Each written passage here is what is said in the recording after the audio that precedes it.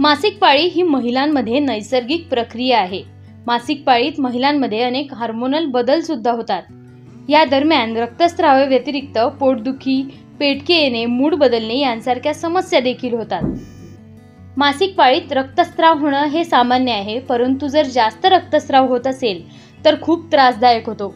मोठ्या प्रमाणात रक्तस्राव होत असल्याने दिवसातून अनेक वेळा सॅनिटरी नॅपकिन बदलावे लागतात.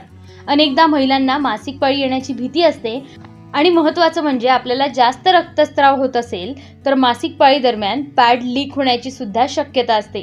पॅड लिकेज झाल्यामुळे काही वेळा कपड्यांवर डाग लागतात आणि खूप चांगल्या ठिकाणी आपण ऑकवर्डसुद्धा होतो.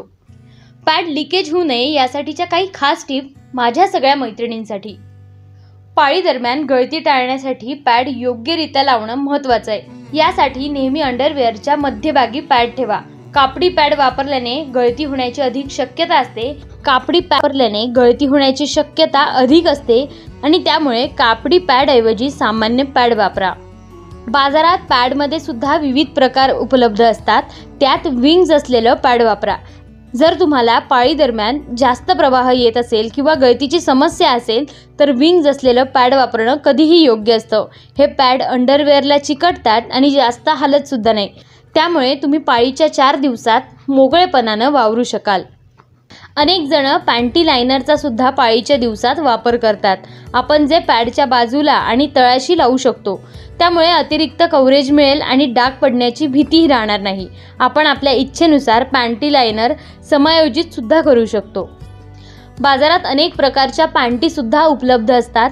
त्यात पिरियड पॅन्टी नावाचा सुद्धा एक प्रकार आहे. त्यामुळे जर तुम्ही पिरियडच्या दिवसात पिरियड पॅन्टी वापरली तर हे सगळे धोके टळू शकतात. सुरुवातीला पॅडमध्ये वेगवेगळे साईज उपलब्ध नव्हते मात्र आता बाजारात वेगवेगळे प्रकार आणि वेगवेगळे साईजसुद्धा उपलब्ध असतात.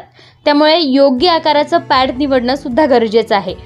जास्त प्रवाहाची समस्या असेल तर योग्य लांब आणि जाड असलेलं पॅड आपण वापरू शकतो जेणेकरून त्या रक्ताचे डाग आपल्या सगळ्या कपड्यांवर किंवा नेहमी पडत असलेल्या चादरीवर पडणार नाही.